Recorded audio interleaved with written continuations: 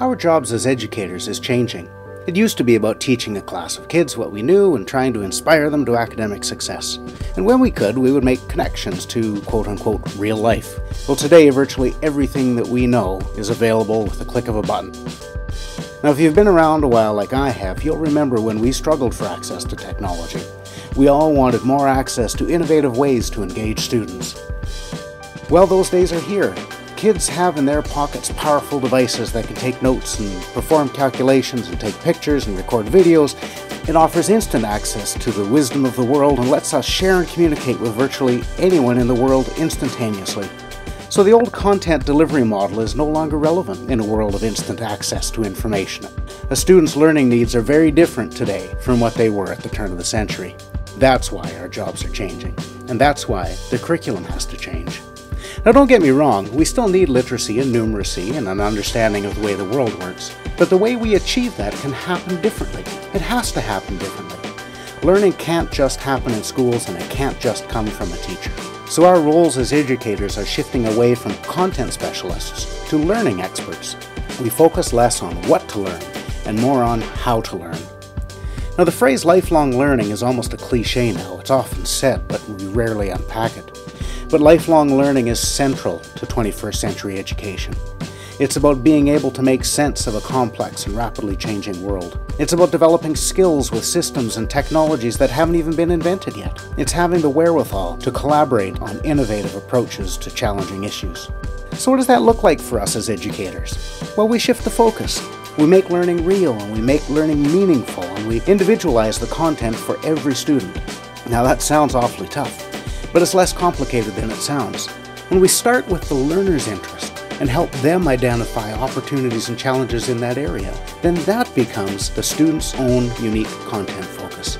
Next, we find others who are interested in the same thing, not just within the school, but around the world. The learner, with the educator's guidance, assembles a professional learning community from journal authors and magazines and blogs and podcasters and discussion boards and hashtags, professionals and agencies, and so on. That learning community is now the content expert, and our learner will become a contributing member of that community. The value of a learner's work is more than just a point of assessment. Their work extends far beyond the classroom as an essential part of a global dialogue on real issues. It gives the learner a global audience for their learning process and the product of their efforts. Now, taking on real problems and opportunities with an interested community of experts that reflects the student's own interest is highly motivating. The learners themselves begin to identify the skills that they need to pursue the interests that they have. As learning experts, this is where we fit in the core content. We work with the learners to develop the needed literacy and numeracy skills to come to a more sophisticated understanding of the way the world works, and to cultivate effective communication and collaboration skills, their capacity for critical and creative thinking, and appropriate use of available technology. As before, that knowledge content will be pretty similar for everyone, but is uniquely applied by each individual learner to their own learning context. With student projects, learning becomes a design challenge where we come to understand single issues as products of larger systems. We have to take on the full complexity of the world and look for answers using our skills and knowledge, not in separate content silos, but as an integrated whole. The educator's instructional focus then shifts from what to learn to how to learn. Explicit instruction in collaboration and communication, in critical thinking, in processes that evoke creative responses, in habits of reflection and self evaluation, in the practice of mindful awareness of their own thought processes. These skills enable the learner to apply the content knowledge to bring about positive change. Now, ongoing and frequent feedback on the formation of skills is critical to such self directed learning. 21st century learners will create their own reflections on not just the content learning, but also the processes used to acquire it. They'll reflect on the quality of a finished product, but also the effectiveness of the steps taken to create it. They'll reflect on pieces of knowledge and how the pieces interact with each other. And they'll reflect on their independence as a learner, as well as their capacity for working with collaborators whose diverse ideas and worldviews challenge their own thought processes. Now, these habits of reflection build an awareness of their own learning processes. Assessing growth and skill achievement happens in the context of their work rather than as an isolated test. Assessment is a matter of analyzing the characteristics of the learner's product over time.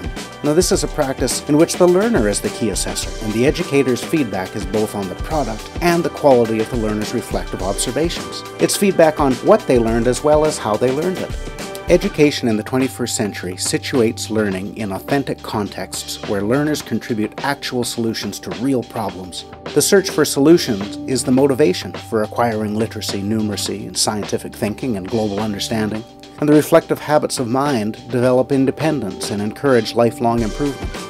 Students come away from formal education experience with the ability to engage with others and to communicate effectively using a variety of media. They can recognize and make sense of complex global challenges. They acquire the ability to manage themselves, their work, and their future learning needs with a heightened sense of control over their own thinking processes. These are 21st century learning outcomes. These are the life skills needed to adapt in a changing world. Now, there's no single right way to do this but there are a lot of frameworks to help you get started. Collaborative learning, for example, project based learning, and inquiry will help you set up self determined learning experiences for your students. And a little research into self regulation and metacognition will help you frame the thinking and engagement pieces.